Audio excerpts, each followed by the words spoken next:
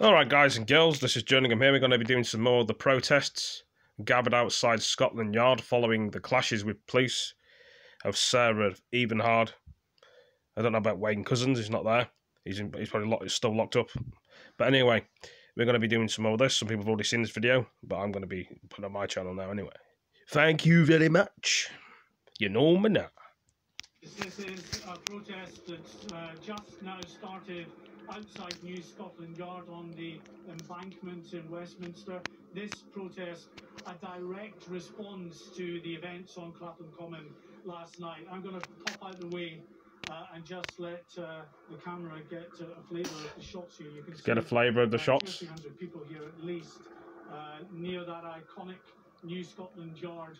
Uh, sign, of course, well known throughout the world. And this was a couple of days ago, by the way, guys. It's not today, or girls. Uh, as I say, not just I'm a bit behind on the news. last night, but of course to pay their respect to Sarah The deaths have got, gone up to 6,000. Well, not the uh, deaths, the, the infections have gone up to 6,000.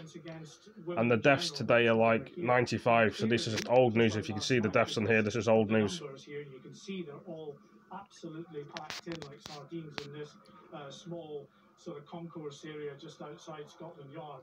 They are in contravention of lockdown rules.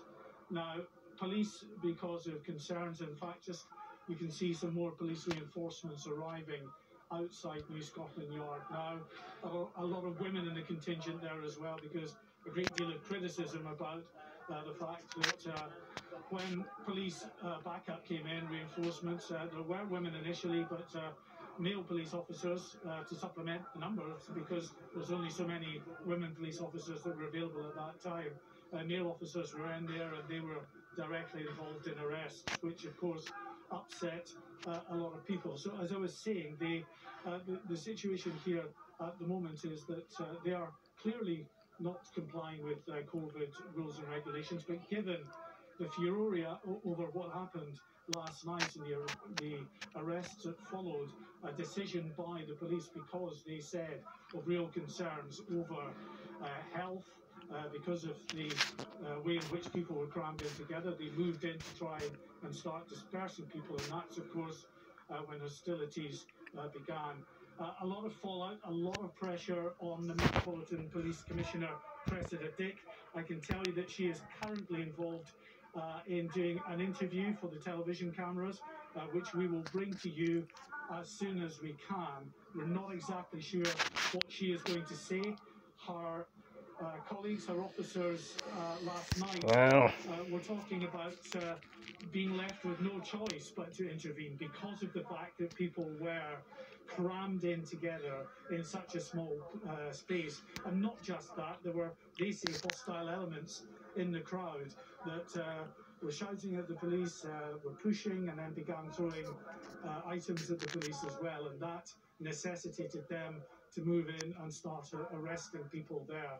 Uh, that explanation, though, has not satisfied the London Mayor Sadiq Khan.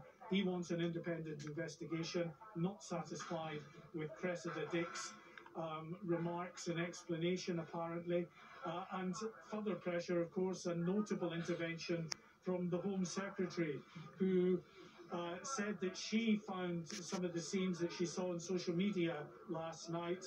Um, uh, you know, uh, she was very concerned and worried by uh, those scenes. Uh, the uh, Home Office Minister Victoria Atkins was on Sophy uh, programme this morning. Uh, again, uh, she didn't give a fulsome support uh, to the Home Secretary. She said that we'd have to wait to see what Cressida Dick said in response uh, to the events of last night. Now, you can see as we speak that uh, the police are putting up more barriers to guard the area around New Scotland Yard, keeping the protesters who are arriving all of the time here. Um, I don't know if you can see them over there, they're actually spilling out uh, onto the roadway, onto the uh, embankment itself, because there are uh, significant numbers uh, of people who have decided to turn up in defiance of police um, warnings not to because of the fact they would be breaking the law uh, and in response to uh, the scenes that they saw with a number of people, four was the last count given to us by the Metropolitan Police, arrested as a result uh, of events down on Clapham Common. So it's peaceful at the moment, but uh, there, there is certainly a tension in the area. This event has been organised uh, by a group called Sisters Uncut. Now, they're not Reclaim the Streets. Reclaim the Streets say that they had uh, for days tried to engage with Scotland Yard with a view to having a smaller scale, socially distanced vigil, which they believed would have satisfied health requirements and would not have led to the scenes last night where many more than were originally planned to turn out uh, onto Clapham Common uh, decided to turn out in defiance of that uh, police ban. Uh, so here again today, as I say, we're seeing um, here just outside New Scotland Yard, uh, certainly so far, of course, a, a, different response from the police. But to be fair to the police, it was a different response yesterday uh, as well until events did start to deteriorate.